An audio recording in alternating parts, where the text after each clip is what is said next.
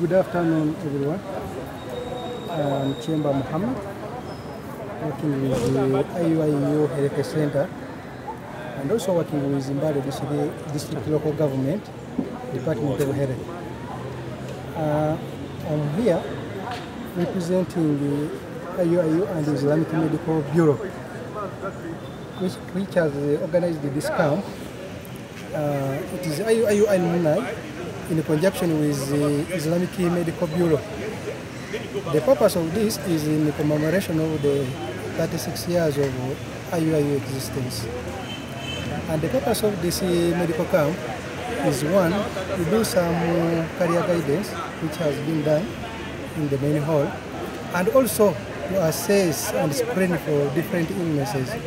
For example, we have uh, screened for uh, HIV, we have screened for uh, hepatitis B, we have also tested people for their blood groups. We are also screening for uh, hypertension, that is the pressure. Uh, we also do blood donation.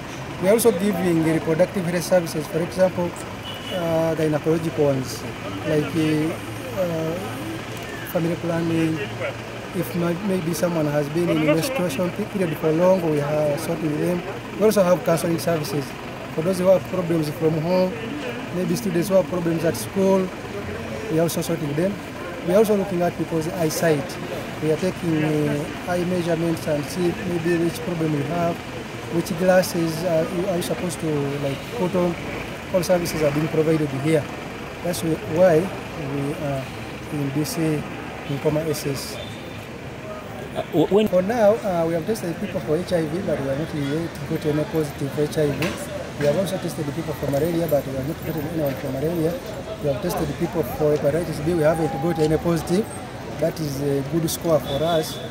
But we have got a number of them for pressure. We have got uh, many of them with diabetes, and they have been uh, managed so well. Those who are not being managed here are being referred to Umbara Regional Referral Hospital, and we have also referred more to our University Health Center, that is IUIU Health Center. So majorly the illnesses that we have discovered in this camp are hypertension and diabetes. what about UTIs? Are you also doing the screening? We have not done any UTIs here simply because you cannot carry the whole lab here. and that uh, burden of carrying urine in this camp is not easy. So Uh, the test we have done so far, we have uh, 570 as of now. But the biggest number is yet to come because most of them are still in the hall for career guidance. when you Uh, we have seen around uh, 10% of the people with hypertension, that's in, among the aged ones. For example, those uh, of 50 years and above, most of them have presented with hypertension and diabetes. And those two conditions always move together in most cases. If you have hypertension, chances are very high to be diabetic, or if you are diabetic, chances are very high to be hypertensive.